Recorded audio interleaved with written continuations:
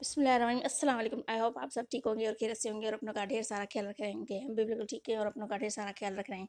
आज हम बनाने वाले हैं फ़िश कढ़ाई। तो उसके लिए हमने सारी तैयारियाँ कर लिए मैंने सोचा कि आपको दिखा देती हूँ। ये हमने प्याज भी काट लिया है, लहसुन भी काट लिया है, टमाटर, फ़िश तैयार कर लिए है हमने धो के साफ़ के करके नमक लगा कर अब धो के साफ़ करके रखी हुई है। अब हम तैयारी करेंगे फ़िश पकाने की। पहले कुकिंग ऑयल गर्म किया, कर लिया है, आप देख सकते हैं यहाँ पे।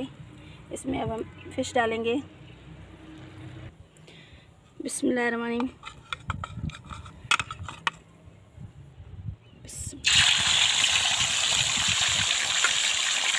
तेल बहुत गर्म हो गया है।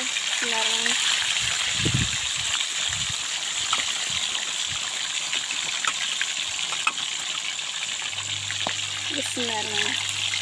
हम इसे इसको फुल फ्राई नहीं करेंगे हाफ़ फ्राई करेंगे। उसके बाद हम जो करेंगे, आपको दिखाएँगे। हमने फ़िश फ्राई जो थी वो हमने हाफ़ फ्राई कर लिया है। आप देख सकते हैं, हमने हाफ़ फ्राई की हुई है। अब हम इसी तेल में, यानी कि इसी ऑयल में हम प्याज डालेंगे। चॉप काट के इस तरह से दो दर चॉप काट के प्याज डालेंगे उसमें बिस्मिल्लाह अब हम इसमें डालेंगे एक चम्मच नमक उसमें बिस्मिल्लाह अब हम इसमें एक चम्मच लहसुन डालेंगे इस तरह से काट के। इसमें अब हम इसे ज़्यादा ब्राउन नहीं करेंगे, लाइट ब्राउन करेंगे, फुल ब्राउन नहीं करेंगे। उसके बाद हम सारे मसाले डालेंगे। अब हमारा प्याज लाइट ब्राउन हो गया है। अब हम इसमें डालेंगे सारे मसाले। वो मैं आपको बता देती हूँ।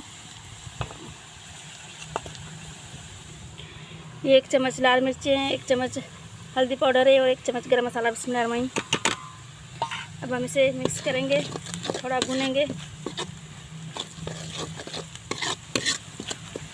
अब हम इसमें डालेंगे टमाटर। इस तरह से चौक काट के चार अदद हरी मिर्चें और दो अदद टमाटर हैं इसमें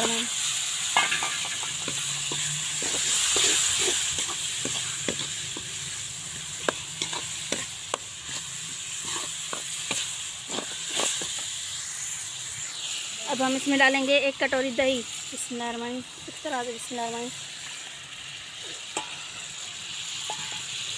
अब हम इसे थोड़ा पकाएँगे दही का पानी सूख जाएगा ना उसके बाद हम इसमें डालेंगे फ़िश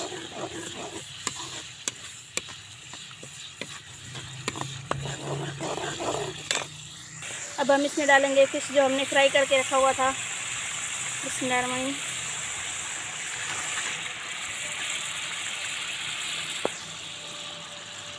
अब हम इसे थोड़ी देर के लिए पकाएँगे।